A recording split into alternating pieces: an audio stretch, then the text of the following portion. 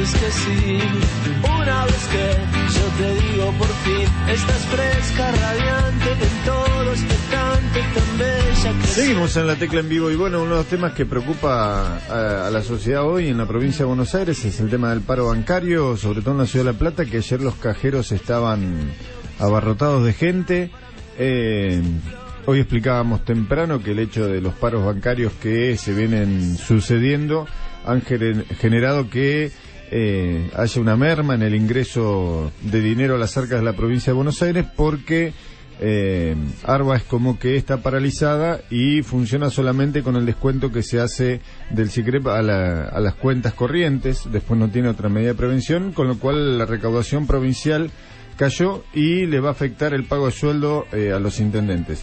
Pero lo más importante es saber cómo está la situación de los empleados bancarios y cómo son las medidas, cómo se van a completar en esta semana y la, y la siguiente si no tienen respuesta.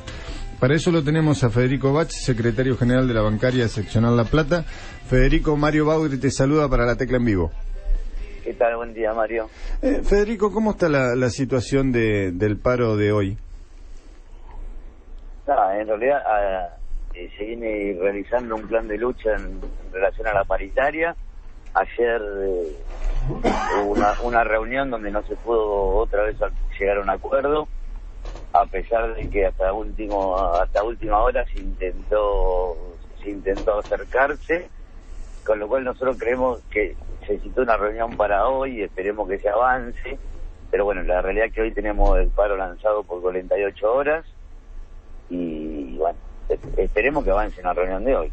La, ver- la verdad que se, estaban, se están haciendo todas, todas las gestiones posibles como para que, que, la, que la gente no vuelva a sufrir un paro de 48 horas. Eh, Seguro. ¿Y mm, por qué crees que no se llega a un acuerdo? ¿Están muy lejos en las negociaciones? Eh, yo creo que se está, pasan dos cosas. Se está muy lejos de las negociaciones, pero también en esta negociación paritaria en particular, eh, la bancaria eh, puso por como primer tema la recuperación de los compañeros despedidos y creo que la mayor traba nos parece que está ahí y de parte de lo que sería tu escenario del Banco Central, con lo cual eh, hasta que no se destrabe ese punto, para nosotros es muy difícil seguir avanzando con el número, digamos, de la paritaria, porque nos parece primordial que primero los compañeros de los bancos públicos despedidos a 30 días de asumir este gobierno estén otra vez en su puesto de trabajo. Eh, ¿Cuáles son las medidas que ustedes consideran que de no llegar a un arreglo van a, entablar? Porque se habla de que la semana que viene va a haber un paro de, eh, de tres días, ¿puede ser? Sí, todavía, todavía no está analizado profundamente dentro del sindicato porque no tuvimos una reunión de secretarios generales, se está evaluando, calculo que eso va a ser el lunes y fracasa, y fracasa esta discusión de hoy y mañana se termina llevando a cabo el paro eh, también en las 24 horas de mañana y, veremos cómo se sigue. En realidad se arrancó con un paro de 24 la semana pasada que se agrava también con alguna con un- algún paro adicional en el Banco de la Provincia de Buenos Aires, pero que si querés después lo charlamos de- para no mezclarlo. 48 horas de esta semana, que es hoy y mañana, y todavía no tenemos programado la semana que viene, pero seguramente, en realidad estamos tratando de, de insistir con la negociación porque la verdad que no estamos buscando el paro. Eh, Todavía no te puedo adelantar qué pasa la semana que viene porque no está charlado, pero pero sí, el plan de lucha está iniciado y seguramente se tengan que reconocer y bueno, veremos. Eh, Walter Casamayo te saluda. Eh, me imagino que vos, obviamente, tenés a tu familia detrás y a- aparecerá tu suegra, aparecerá este, el familiar y te dirá, ¿cómo hago si no puedo sacar plata de los cajeros? Digo, ¿cómo, ¿qué le recomendás a la gente ante estas situaciones? Porque obviamente ustedes están haciendo, están amparados por ley y, es lógico que estén luchando por lo que ustedes creen que es conveniente. Por el otro lado, obviamente los usuarios están muy complicados. No solamente el que tiene que ir al banco, sino el que tiene que sacar plata de los cajeros y sabe que por ahí este, en un par de horas ya se queda sin esa chance, ¿no?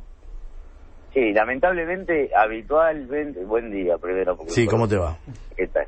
Eh, habitual, digamos, habitualmente eh, estamos teniendo un problema con la carga de lo cajero automático porque nosotros estimamos eh, que la plata dentro del cajero nos está durando entre 4 y 5 horas promedio, digamos, con lo cual ya tenemos un problema grave en todos los días, digamos, en, en lo que es la recarga, digamos, la, la parte operativa se transforma en un peso importante al tenerlo que recargar varias veces en el Sí, día sí. para que el cajero funcione. Claro. Pero al margen de eso, digamos, en la medida de fuerza, lamentablemente, eh, el compañero que está de paro no le podemos exigir que cargue los cajeros automáticos. No, no, no. lo o cual sea, nosotros recomendamos que se usen todos los temas, tarjeta de débito, de crédito.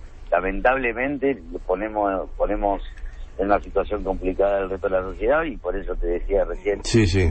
Que nuestra intención no es eh, analizar la medida de, la medida de fuerza la semana que viene, sino tratar de avanzar en una reunión hoy para ver si inclusive Si se puede destrabar. trabajando. Ojalá. La realidad es que nosotros queremos cerrar la paritaria. Sí, más que nada porque de- detrás de todo esto, sobre todo, uno se pone de- detrás de- de- del pellejo del pobre abuelo, del jubilado, justo es, es esa etapa de, de cobro de, de, bueno, de mucha gente que gana tres mil, cuatro mil pesos y obviamente Se adelantaron no, no poder no poder cobrar, muchos no se han enterado de que se adelantaba este algún pago y demás, digo, es complicado, pero bueno, obviamente uno se pone en el medio y trata de, de, de entender todas las situaciones. Pero bueno, ojalá la reunión de hoy sea satisfactoria, ¿no? Y mañana puedan tener buenas noticias y todo se normalice, ¿no?